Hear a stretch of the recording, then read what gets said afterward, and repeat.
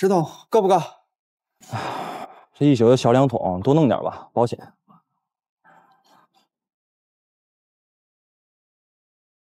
通过一夜时间的耗油量，李春秋估算出了发电机的功率。他进一步推算出来，那是一座使用面积在一千五百平方米左右的建筑。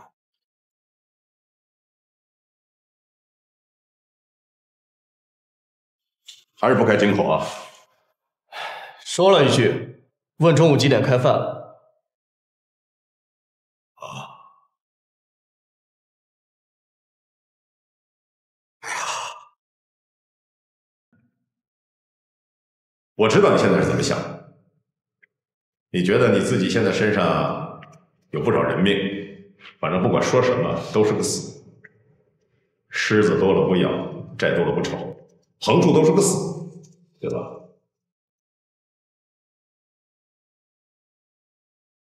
哎呀，审你啊，说实话是个难题，谁摊上谁倒霉。我跟局里面的领导也已经汇报了，上面也有指示，是这样的。哎。只要你交代出有用的情报，就算是立功，可以不判死刑，但是牢得坐，受几年罪，你觉得怎么样？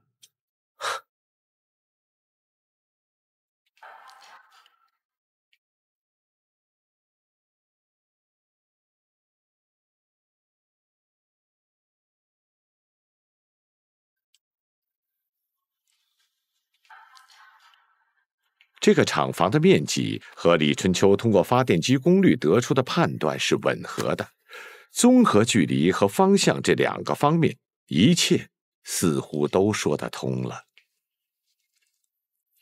十有八九，陈斌就是被丁占国关在满洲酒业株式会社。以防万一，李春秋还需要最后确认一下。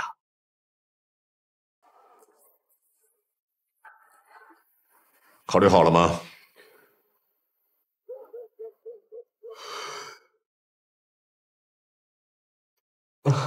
你先出去喘口气儿，透透风去。我我没事，我不困。一天一宿了，连我都困了。我们两人都别待在这儿，你出去透透风去，一会儿来换我。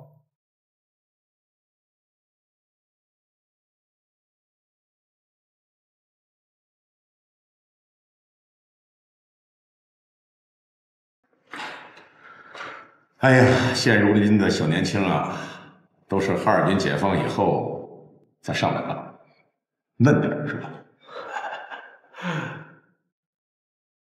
行了，现在这儿就我跟你了，我想跟你单独聊聊，不做记录，想到什么就说什么。要是我没记错的话，你是伪满的时候来到东北的吧？啊？那咱俩差不多，我来东北也有十一个年头了，咱俩来东北的日子都不算短了啊！来，嗯，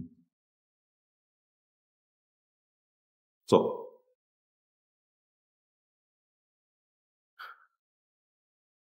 今天想跟你唠叨几句。有一回我们得到消息，说日本人要来搜山。那时候我们啥情报线都没有啊，怎么办呢？当时我就带了两个较快的兄弟，天一黑就下山了。那时候年轻，十六里的山路，哦，还下着雪。从山上到屯子，狼下崽的功夫，我们就到屯子了。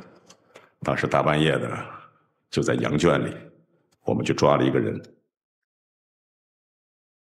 是个汉奸，他当时什么都不说，冷的、热的、甜的、咸的，什么都不吃，怎么问都不说。后来我真的急了，当时那两个抗联的兄弟用抗联的纪律来压我。我当时一听我就急了，我用枪顶着他们俩人的脑瓜子，让他们俩闭嘴。没办法呀，天一黑，日本人就要上山。如果问不出走哪条道，山上百十个兄弟啊，全得死啊！没办法呀。后来问出来了，当然了，要是问不出来，今天我能在这儿吗？啊？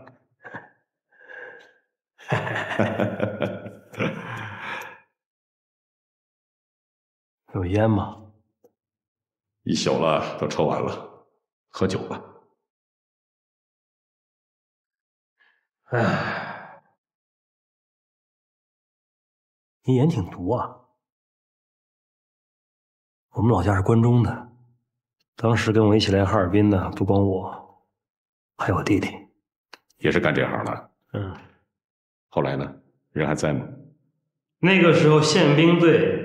特高课还有警察厅的特务科，成天就跟鬼似的无处不在。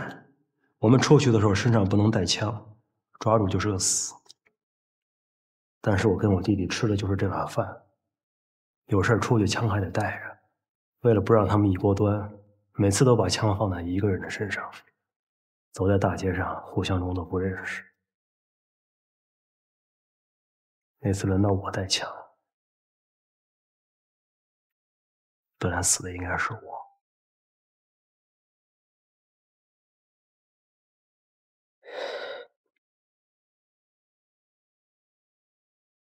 不知道为什么，那天街上突然间就多了一个卡子，我们想绕路已经来不及了，眼看宪兵就要搜到了我的身上，我的弟弟转身就跑。我眼看他死在我的面前，但是我还得笑，我得笑着跟日本人鞠躬，因为我得活着，我活着才能给他报仇，我做到了。后来那个日本宪兵全家都让我给烧死了，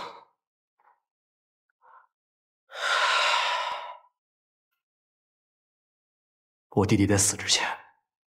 还没有结婚，除了我谁都不知道。他有一个孩子，未婚妻生的儿子，是我们家的独苗。哈哈哈！那以后孩子读书吃饭都是我一个人来管。现在你把我抓了，我认。但是你让我说什么，我不能说。真的，死活对我来说已经无所谓了。那天本来应该死的就是我，我活一天是多一天，挣一天。但是我我什么都告诉你了，保密局是不会放过我侄子的。哎，你不知道，我那个侄子特别聪明，争气，读书读的特别的好。哎，他如果是个败家子儿就算了，偏偏每年都考第一名，我得管他呀，对吧？所以你别问了，你把我弄死，保密局会给他们娘俩发抚恤金。我算过了，这笔钱会让那个孩子长大成人。但是如果我招了，我就是叛党叛国，我就是叛徒，他们会编我的诗，我无所谓。但是我的侄子就完了，所以没办法，我什么都不能说。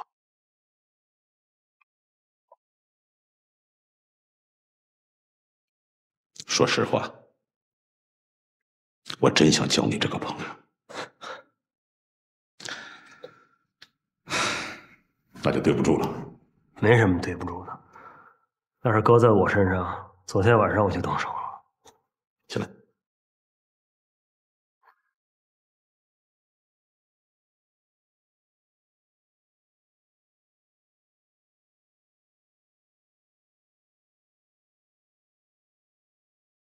哈尔滨日报，卖报，哈尔滨日报，卖报，哈尔滨日报，卖报，哈尔滨日报，卖报卖报，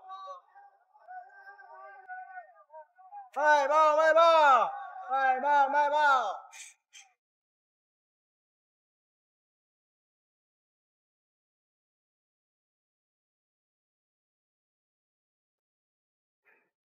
爷们儿，对不住了啊！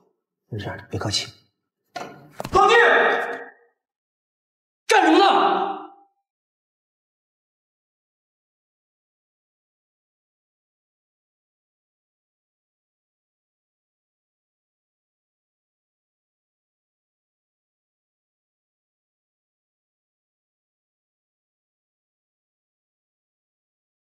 我就说嘛，还是共产党的政策最好。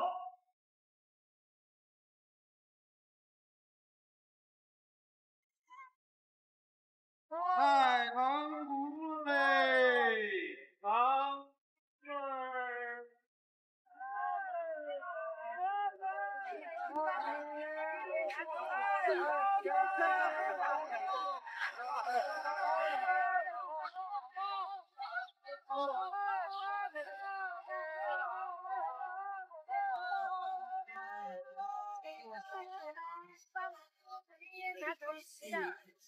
嘞，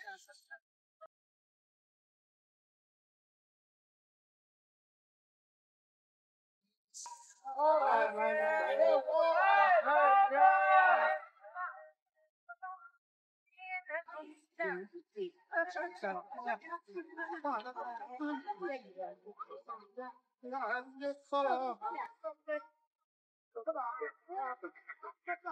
儿。我没想到他买报纸的目的是为了查看电影院最近的散场时间。走到门口的时候啊，一分不差，再跟就跟不上了。别的小组也都没了他的消息，他消失了。我们怕是被他发现了。未必，你们只要不是跟得太近，就不可能暴露的。我猜想这是他惯用的常规性的手段，不管有没有被跟踪，他都会这么干。反过来说明，接下来他会去做一件很重要的事儿。可现在我们该怎么办呢？过十分钟之后你再打过来吧，先让我想一想。好，嗯。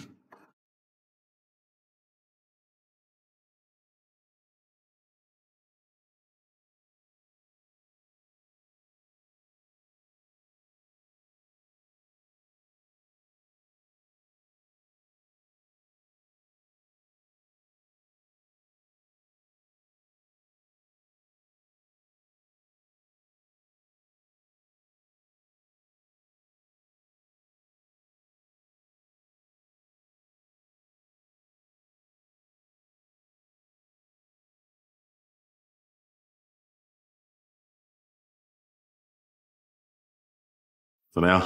有什么新情况？喂，是哈尔滨市葡萄酒厂吗？打错了。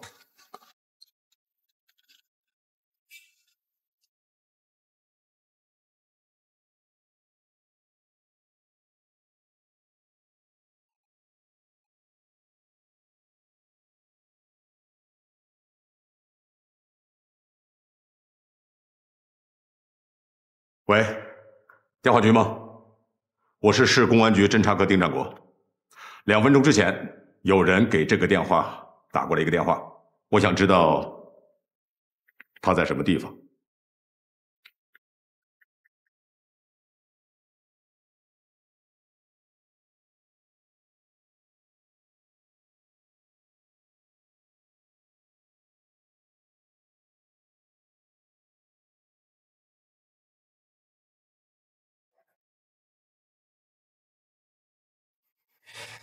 丁科长，听我说，在竞马场东路靠近道南里那个岔路口有一个公共电话亭，旁边是哈尔滨公务局。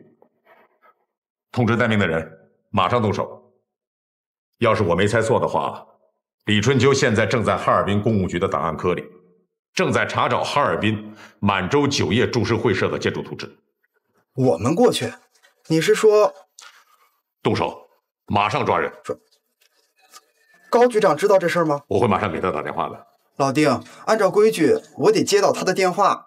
这是我给你下达的命令，再缓再等，人早跑了。这，我告诉你，抓了人，破了规矩，犯了错，找我；人跑了，找你。即刻出发。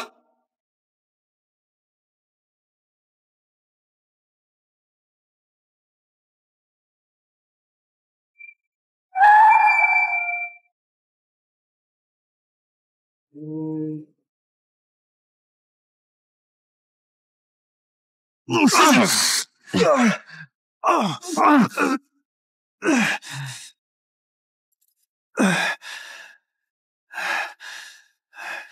是高还是丁？你们到底是什么人？啊？你们是哪个科的？侦察科的吗？我要见金针菇，我要见金针菇！啊啊啊！嗯，嗯啊啊啊啊啊！啊啊啊啊啊！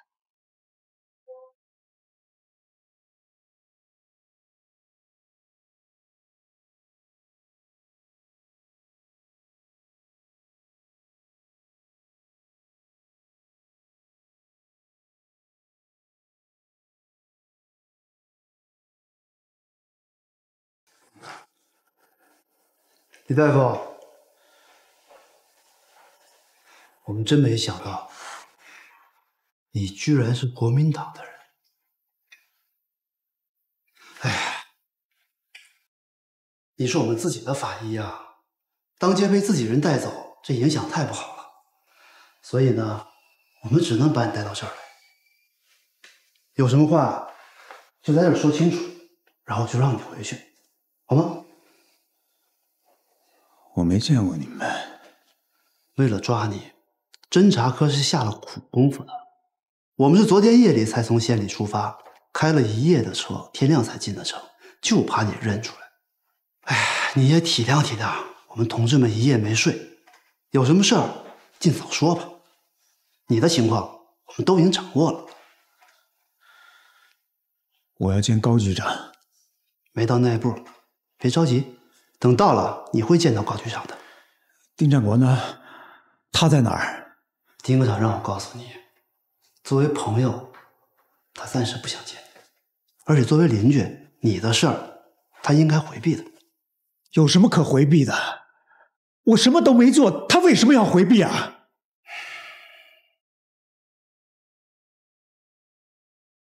李春秋，那我们就开门见山吧。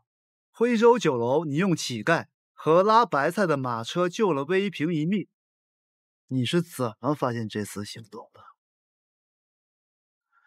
春光照相馆的叶翔被你杀死后，你伪装成醉汉想躲避我们的调查，你以为我们不知道？那个被卡车撞死的猎户，他死之前你就把他装进后备箱，是想逃过丁科长的眼睛。卷发女郎为什么会自杀？你跟她说了什么？尼古拉广场抓田刚武侠，你在丁科长眼皮底下买面包。你以为你替丁科长挡了一枪，我们就不怀疑你了吗？我告诉你，自打尹秋平被杀，我们就盯上你了。李春秋，你是不是觉得你什么都不说？我们就拿你没有办法。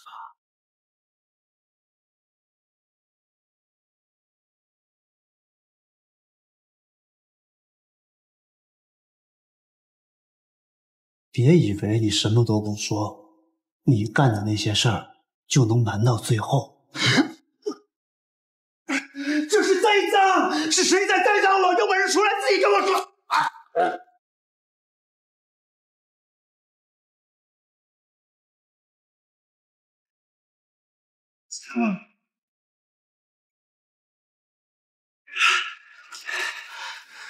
高奇在医院看见你，准备要举报你的时候，为了灭口，你派谁杀了他？快老实交代，谁灭的口？啊！我要，我要见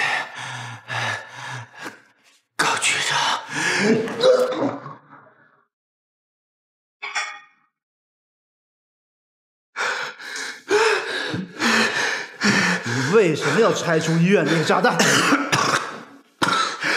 这叫重定用猛药，是丁科长的意思。对付你这样的人，不算犯罪。李春秋，你是特务，你是潜伏在我们内部的特务，你认不认？啊！你们弄死我算了。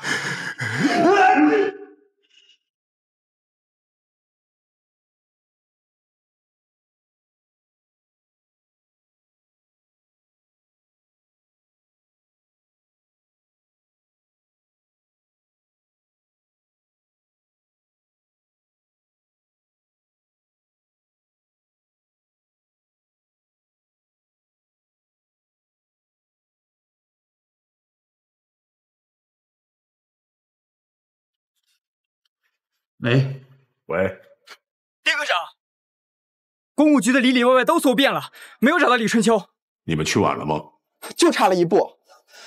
不光这儿，所有该出现的地方他都没有出现。我怀疑他发现自己已经暴露，跑了。马上去车站，能带的人都带上。杜杰，我必须要见到他。是。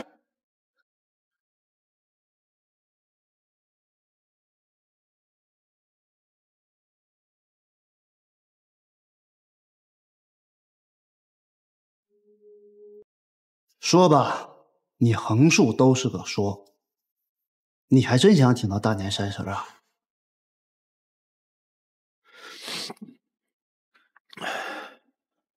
李春秋，对，十有八九他就是特务，那个我们一直在寻找的内奸。有证据吗？我本来想利用陈斌的被抓，进一步逼他现出原形。我还让小唐开车回局里来拉电炉子和柴油。另外，我让小马故意说出一些之前我们设计好的话。我相信，只要是一个职业特工，完全可以根据这些看似不相关的一些细节，找出陈斌被抓的地方。他找着了，我可以肯定，李春秋啊，肯定到过哈尔滨特别市公务局的档案科，拿到了葡萄酒厂的建筑图纸。我了解他，嗯，他的记性非常好，他完全可以在短时间之内把图纸记在脑海里。如果真是这样的话，你就做好准备把陈斌转移。但是现在问题是，李春秋失踪了。开放，放开他！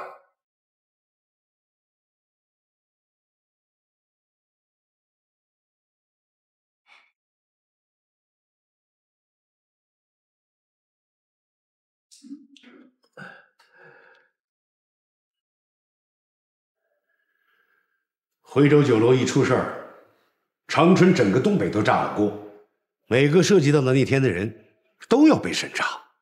这向站长的秘书已经跟了他五六年了，心腹之人也被动了刑了。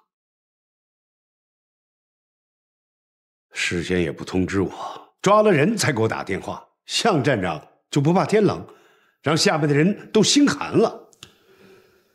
向站长说了，他会打电话亲自给你解释这事儿，事关重大，得罪了裴站长。另外，我会留在哈尔滨，一直查到泄密者为止。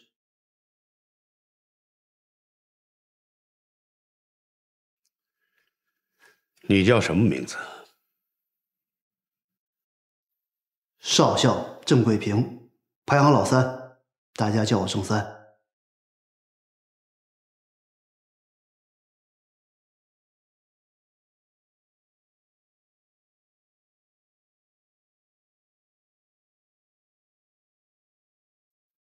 李春秋，审问你是上面的命令，我不得不做。抱歉。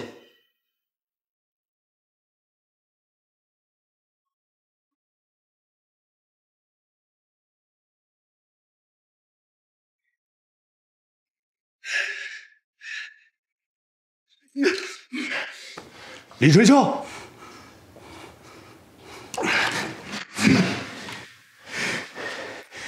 站长，我挨一顿打没什么，可是他把正事儿耽误了。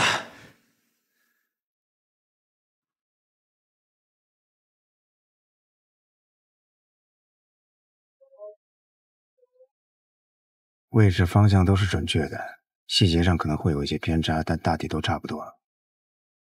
难为你了。说一句你不爱听的话，如果换一换，你现在坐在长春的办公室，也会下达这样的命令的。别多想，在适当的时候，现在的磨难，在未来都会变成寻常。我早就跟他们说了我对陈斌的怀疑。你想想，你我还在路上奔波的时候，没准他已经泡在热水澡里，喝着热茶，跟共产党讨价还价了。您确定是他吗？不是你，也不是我，那会有谁？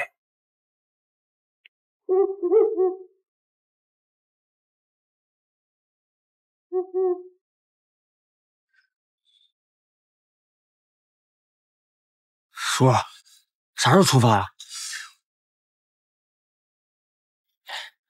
正说接见我不叫你叔，再叫你就拔个牙呗。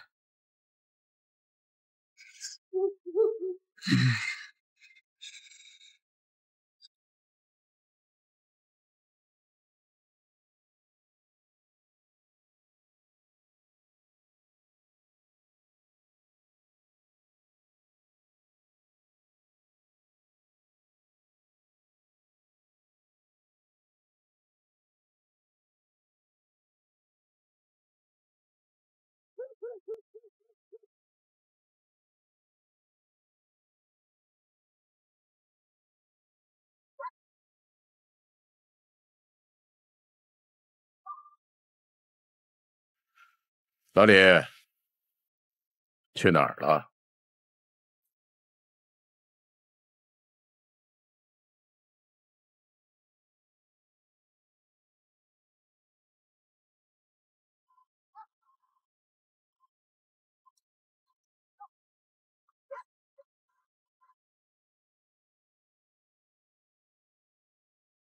心里有事不敢说，这么简单的问题都没有答案，心里太虚了。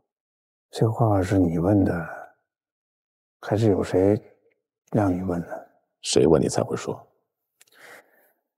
有些事情啊，就像窗户纸，他在那边，我在这边，翻脸了，还有一层东西挡着。他真要是捅破了，何必呢？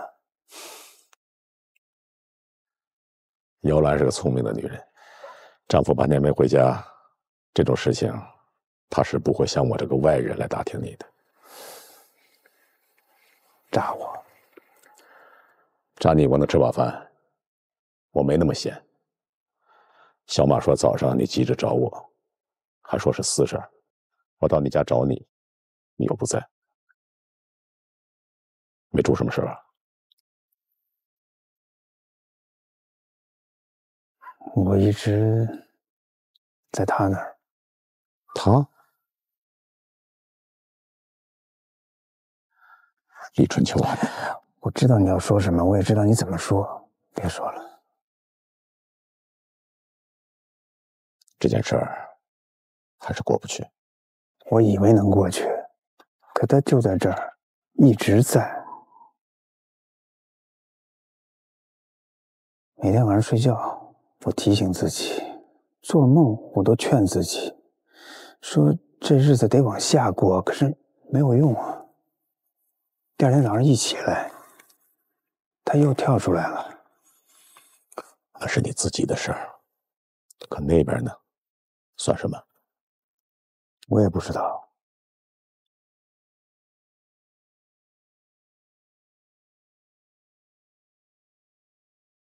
你现在已经到了悬崖边了，再迈一步就是个死。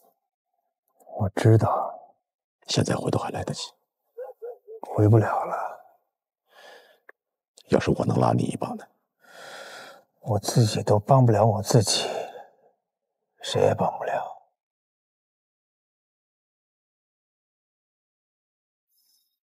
你就不问问我找你有什么事儿吗？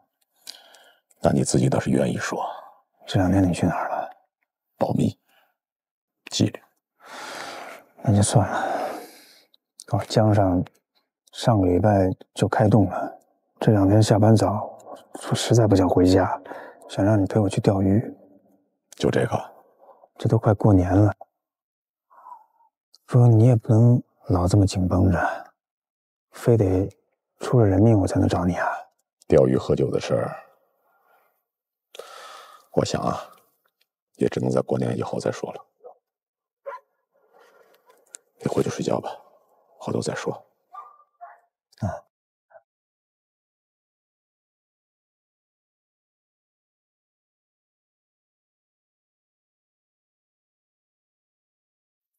丁占国突然回来，跟李春秋的短暂失踪有没有关系？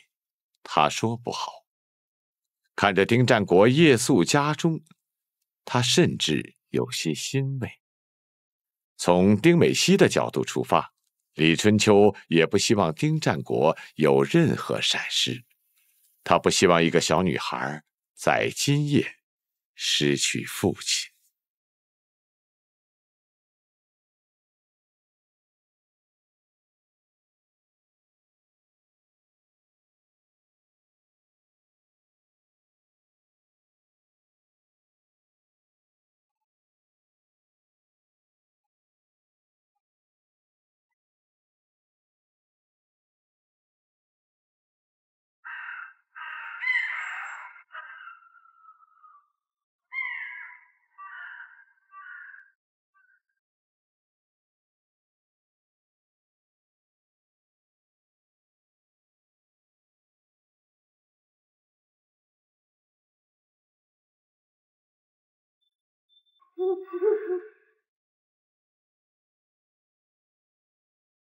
我再说一遍，今天的活是灭口，不是救人。里边多少人守着，情报也不知道，所以别粘着，得手马上走。我们有人进过货，我们怕人啊！住手！着什么急？在后边待着。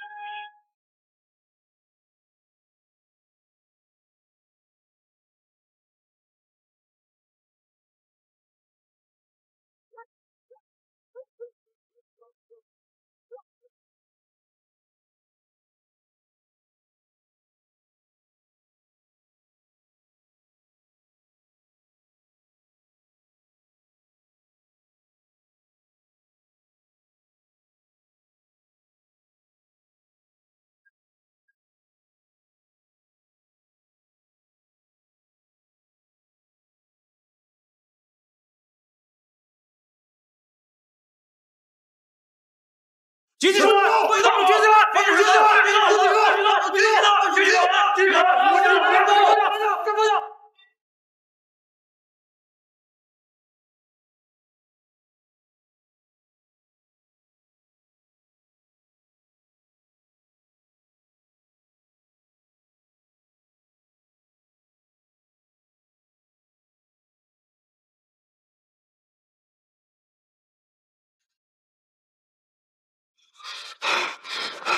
火力太猛了，小心点。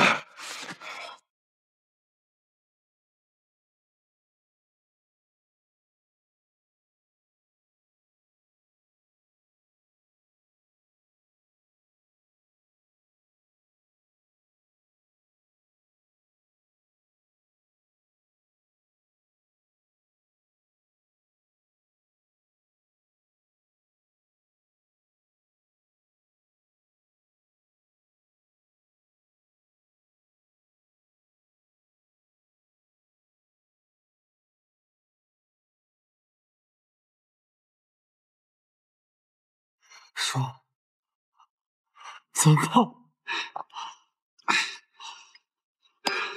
就埋伏了。来，走。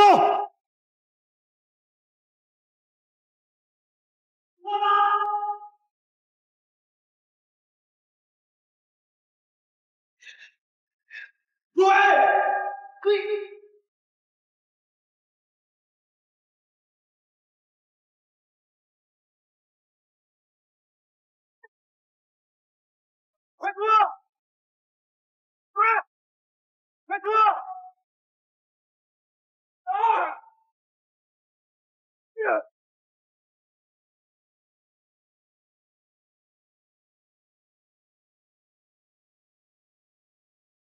快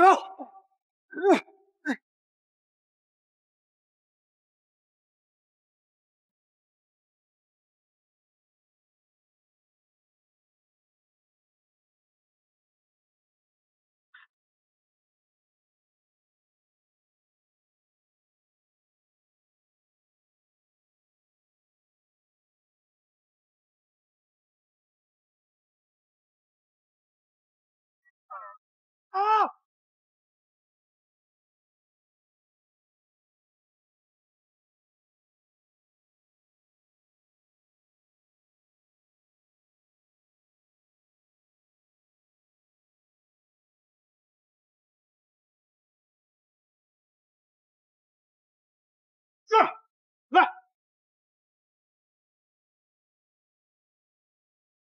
进来，快！快，我跑不动了，里面就是死，快跑，快！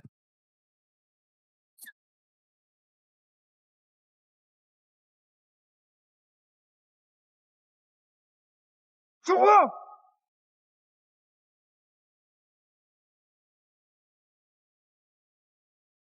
小郭，小郭，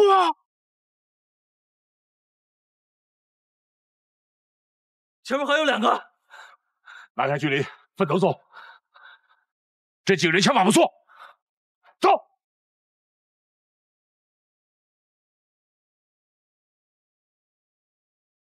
大哥，大哥，哎，快走，带他走，